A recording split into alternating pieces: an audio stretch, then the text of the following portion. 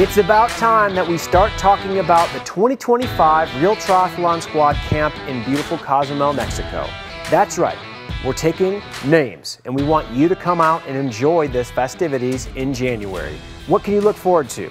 Well, we're going to be staying at the Westin, an all-inclusive hotel located at the far end of the Ironman Cozumel run course.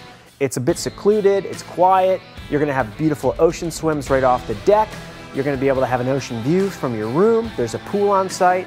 There's amazing food, some of the best food on the island. I think we're going to ride and run out of that location as well with mechanical support as we take our tours around the island and do workouts.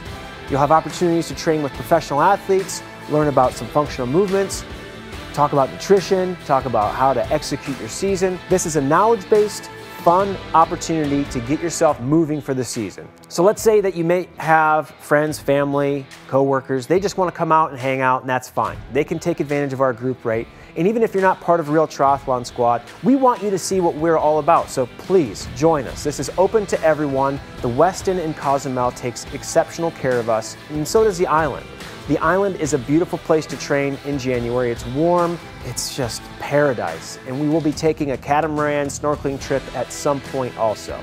We're gonna have instruction on swimming, biking, running, mental toughness. So get your butt to Cozumel in January. Sign up either through our website or through our Instagram promotions. We want this camp to be something that starts your season off on the right foot.